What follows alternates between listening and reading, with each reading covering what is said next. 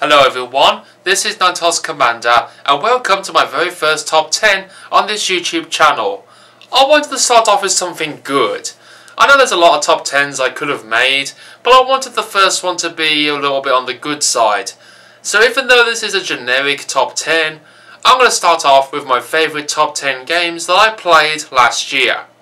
Now of course, needless to say, this is entirely based on my own personal opinion. If there's a game that you enjoyed last year that did not make it on the list, that's perfectly fine, as opinions are great and they what separate us as human beings. But of course, conversely, if there is a game on this list that you did not like as much, that's equally fine. So, with that said and done, let's get into my very first top 10 of 2016.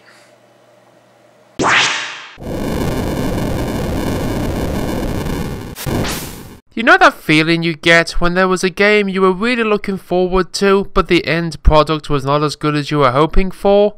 Yeah, it really sucks. And that's what Mario Tennis Ultra Smash comes under.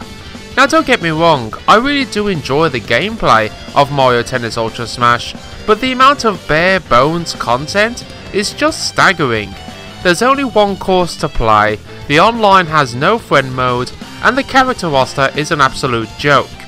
It actually makes me sick that this game was made by Camelot, who are one of my favourite video game developers. They are responsible for amazing games like Golden Sun and Mario Golf. What's keeping this on my list is purely the gameplay. While the content is lacking, the gameplay is still good. But when you see that this game has less content than the previous games in the series, it really is a big disappointment.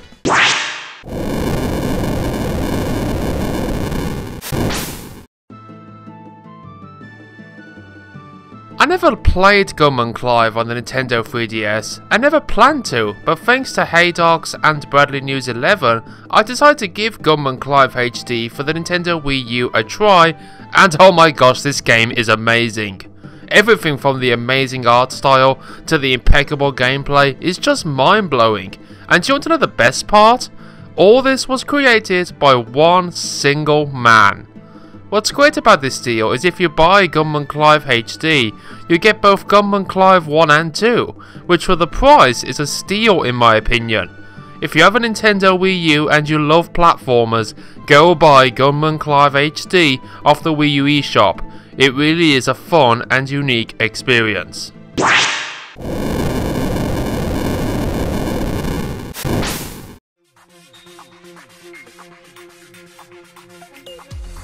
Fast Racing Neo is a game I wasn't originally hyped for, but when I started seeing more and more footage of this game, the more hyped I got for it. This game is awesome, everything from the immense speed to the presentation is just staggering. Shin'en Multimedia, another indie company, should really be proud of this amazing game. It really does go to show how great a game can be if a developer puts enough time and polish into their product.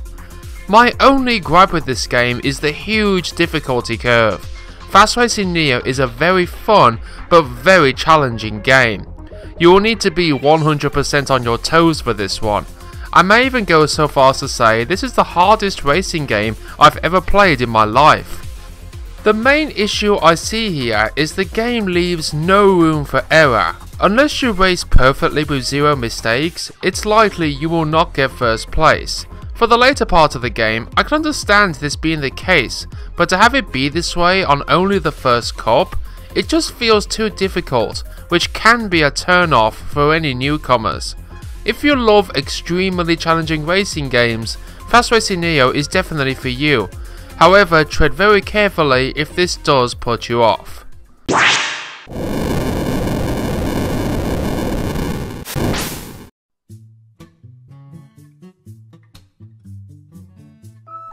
Oh my goodness, this game is so cute. Yoshi is cute, the enemies are cute, and oh my, I love that dog. I so want one for a pet. Yoshi's Woolly World is the perfect balance between good gameplay and pure relaxation. This game is not very challenging unless you decide to go for all the collectibles and oh my goodness, this game gives you a load to collect. Scattered throughout every level is these yarns and if you find all 5 of them, you get a brand new Yoshi with a new design. This alone adds in a lot of replay value, and that's not counting the flowers you can get to unlock secret levels. I would also say that this is one of the best games when it comes to amiibo support. There are so many amiibo that work with this game and they even add more Yarn Yoshis to an already great selection. When it comes to cuteness, this game has all the other games on this list on the ropes. Definitely the cutest game of 2015.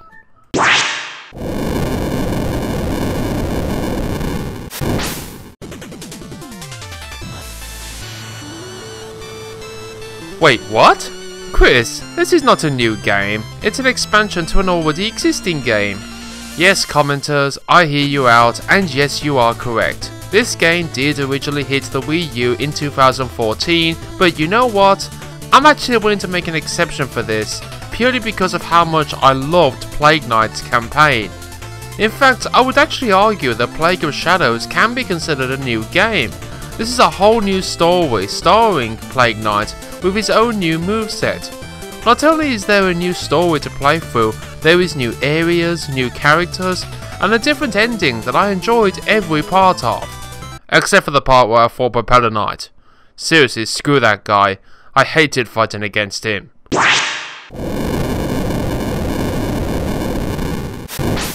You know when a game comes out and you don't expect it to be amazing and it ends up being way better than you thought? That's what Runbow did for me. Does Runbow require skill? Not really. Does it have a good story? Not really. But does it have instant fun labelled into it? Hell yeah! I never imagined that a simple concept could ever be this amazing. All you're doing is running across a stage while trying to be the first to reach the trophy. Sure there is the gimmick of the background changing, which affects the stage you're running on, but you know what? I still love it nonetheless. Runbow is one of those games where you're either going to love the hell out of it, or simply find it lame and boring. And for me, I'm definitely putting it in the former.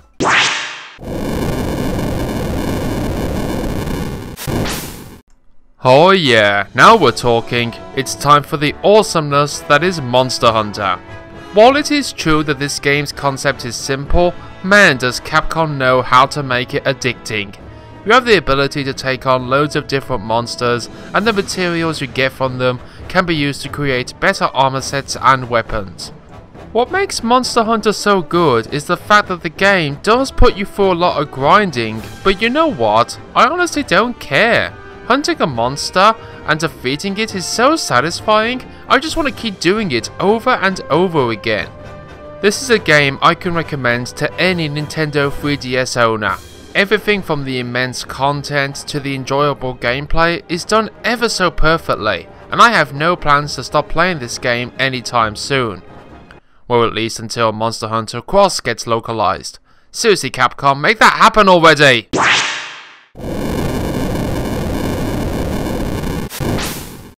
I've no doubt you've noticed a lot of the games on this list are platformers, and well, what can I say? Platformers are awesome, but what do you get if you allow the users to create their own levels? Super Mario Maker is exactly what it should be, a level designer that finally grants us, the players, the ability to make our own Mario levels. What I love about this game is the fact that even making a new level is fun, Messing around with all the possible combinations and seeing what you can come up with is fantastic, and it's really nice to be able to share them online and see your creations come to fruition. Yes, I know there are a lot of levels that are boring or ridiculously meticulous that you have to be perfect, but to me, that only adds to the experience. Not only can it teach you how to make a course, but it can even give you a good idea of what a game can be like. And the fact that you have all four styles of 2D Mario is excellent. I love this feature, and it allows for so many combinations. Even the older styles are blessed with the modern formats, like the original 8-bit getting ghost houses and airships. The only way I can think of to make this game better is to keep adding in more content. There are still plenty of unused enemies and areas from past Mario entries, and if Nintendo wants to add this via paid DLC, I would be more than happy to pay for it.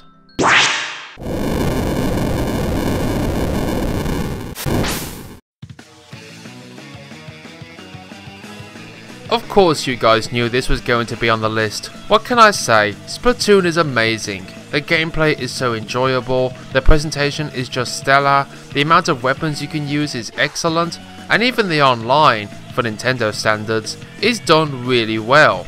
I will admit Splatoon did have a bit of a flop at its release with the lack of game modes, but with the update in August as well as the plethora of free weapons and new stages, Splatoon is now a powerhouse of a Wii U title. Splatoon is a testament to proving that Nintendo can still come up with new franchises and still make them really enjoyable to play. The general feel of the game, as well as the music, just blends together perfectly. One of the things I can say about Splatoon that does stand out for me is its presentation. The whole method in which the Inklings can switch between human and squid form just feels so natural and blends into the game so wonderfully. Combine this with the fluid gameplay and the sound effects, and you have a game that looks and plays great. If you own a Nintendo Wii U, then please I urge you, go buy Splatoon. Even if you do not like shooters like me, you will most likely still have a blast with this game. It really is that good.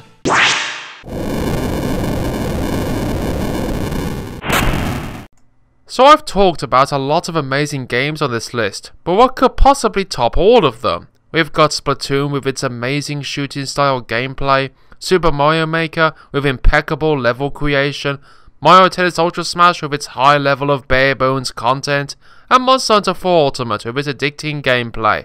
What on earth could possibly top that?